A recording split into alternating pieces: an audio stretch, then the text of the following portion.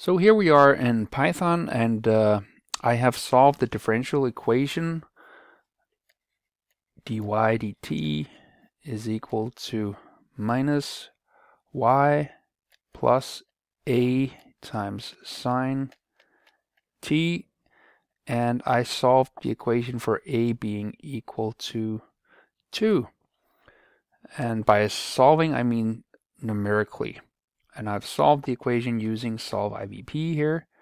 And there's an initial uh, condition as well which is y at time 0 is equal to 10 and we see the result down here. That's what it looks like. Now I'd like to optimize the parameter a here. Um, for some reason and that's just, uh, let's just pretend that we have reasons that we would like to have the function equal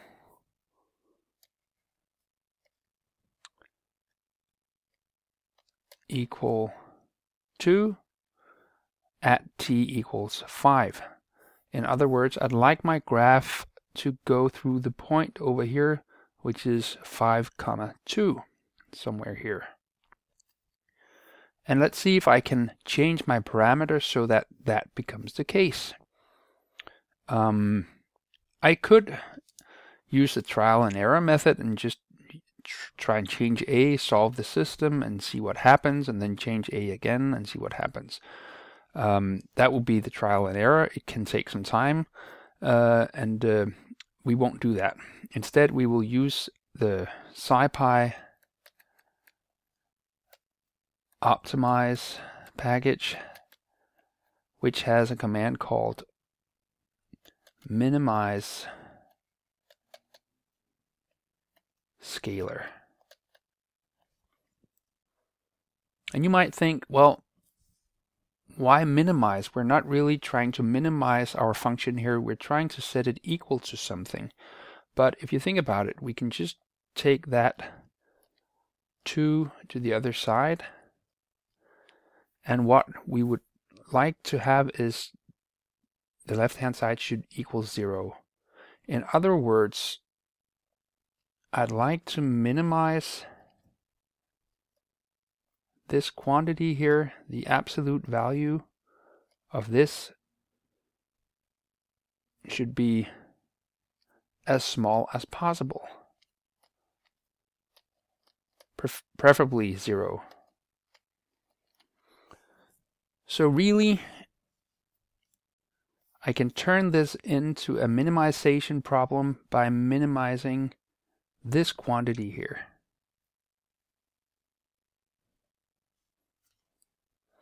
So let's look at how this works in Python.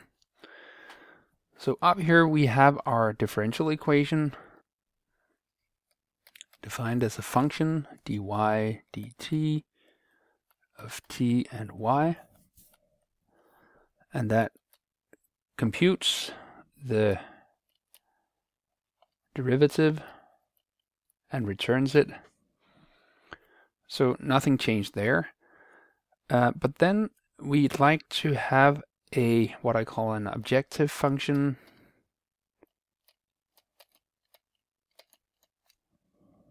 uh, which takes a parameter let's just call that parameter.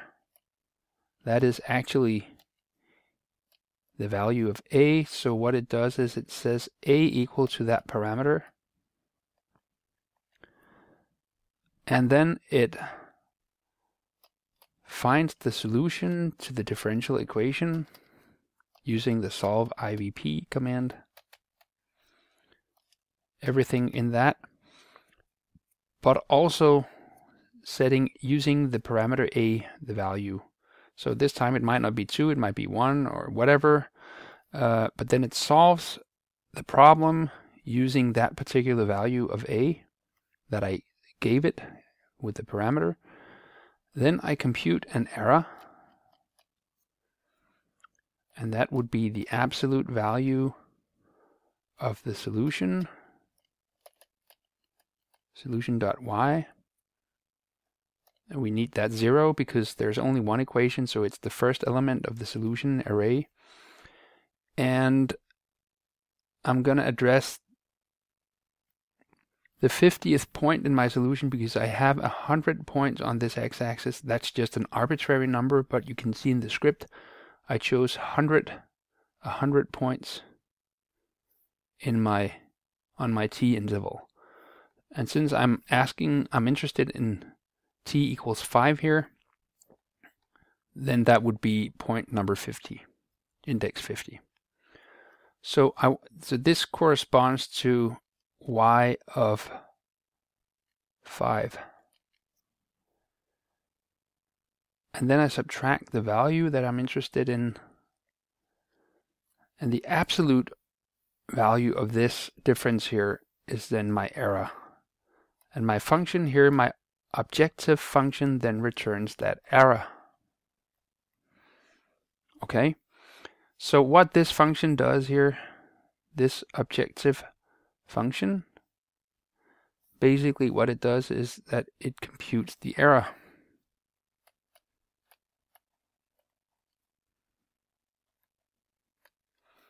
between the solution's function value at 5 and then the desired function value at 5, which is 2. So that's our desire. This is um, what we observe in the solution. All right. And then we're ready to use the uh, minimize scalar command and we give we pass a reference to the objective function. So this function up here. And also we might define some bounds. Let's say we want to search the interval minus 10 to 10 so this is the, you can call it the search interval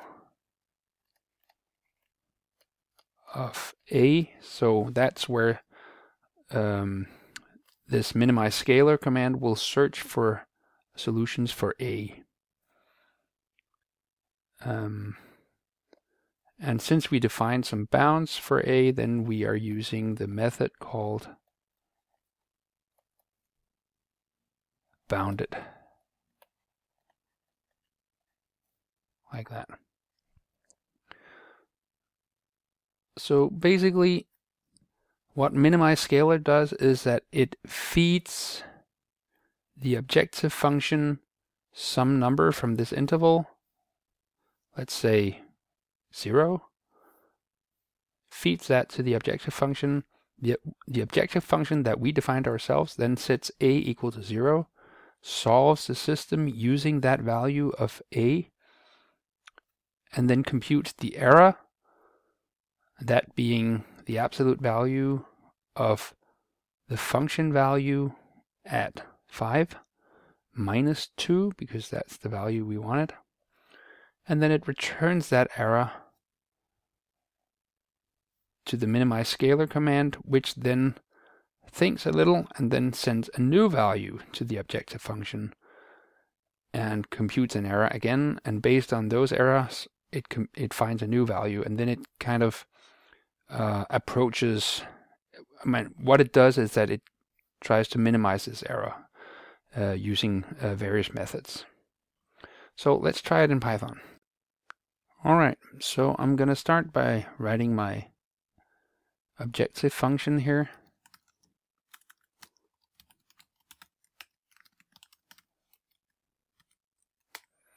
I'm going to set a equal to the parameter that was sent to the function. I'm going to solve. In fact, I can just copy the solve IVP command from up here, save myself some effort.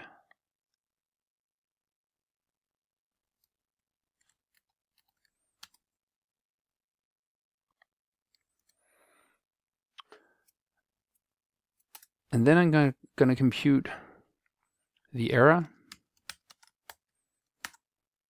And that's the absolute value of my solution y at the 50th t point minus 2.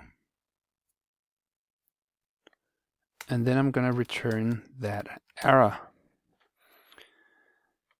However, there is a slight problem because I didn't actually include a here in my solution here. So when I'm feeding the dy dt differential equation to solve IVP here, it doesn't know that I changed the value of a.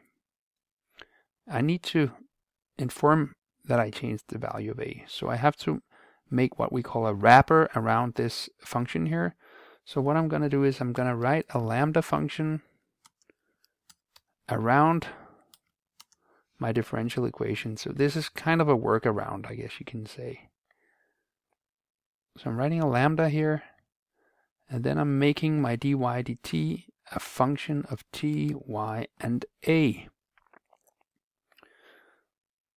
So to solve IVP, this appears to be a function of t and y only, but in reality it's a function of t, y, and a, which means I also have to change the differential equation a little bit. So let's make room for that. I'm just going to copy my differential equation from up here. Plug it in here, and then change it slightly so that now it also takes a as an argument. Right. So that should do it. And now we're ready to include the minimize scalar command, but first we need to import it. So from scipy optimize import minimize scalar. And now we can run the command minimize scalar and then I'm going to pass the reference to the objective function. I'm going to define the bounds.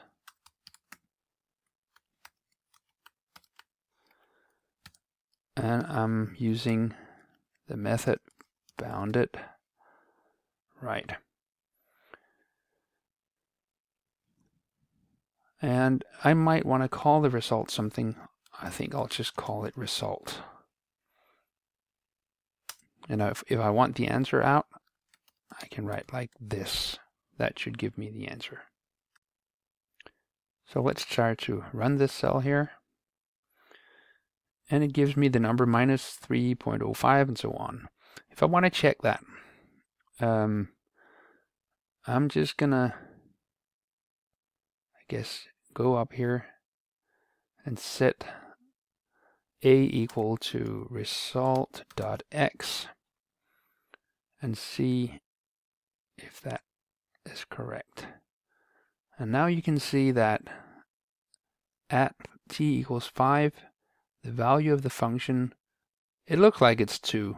If I want to make if I want to make be more sure, I can include a plot of uh, the number two, a lot of twos here, 100 to be exact.